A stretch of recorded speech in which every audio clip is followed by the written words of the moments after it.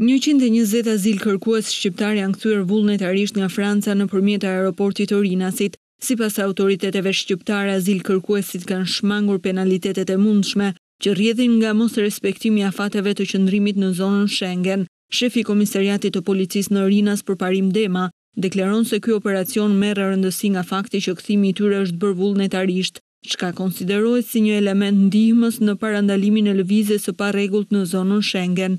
Ky është një ndër operacionet më të mëdha të riatdhesimit vullnetar nga Franca. Kjo në vijim të operacioneve për të parandaluar lëvizjen e parregullt në zonën Shengen. Pozitive është që kthimi në këtë rast është vullnetar. Ndërsa lidhur me pasojat e mundshme që mund të bien mbi personat që shkelin rregullat e lëvizjes së lirë në vendet e Bashkimit Europian, Dema u shpreh se deportimi shoqërohet edhe me masa të tjera shtesë. Kërkesat për azil nuk kanë shanse për t'u aprovuar. Deportimi nga vendet e BE-së shoqërohet dhe me masa të tjera shtesë që janë dhe ndalimi deri në disa vite i udhëtimit në zonën Shengen. Sipas policisë, ky ishte një ndër operacionet më të mëdha të riatdhesimit vullnetar. Ndërkohë, pak ditë më parë në Rinas u riatdhesuan edhe njëqind shtetas të tjerë të cilët u kapën në Francë, Belgjikë e Gjermani. Ndaj tyre ka vendim ligjor për dalje nga territori francez, belg e gjerman, për shkelje të rregullave të lëvizjes në zonën Shengen. Ky operacion riatdhesimi për shtetasit shqiptarë u zhvillua në bashkëpunim me Frontex-in.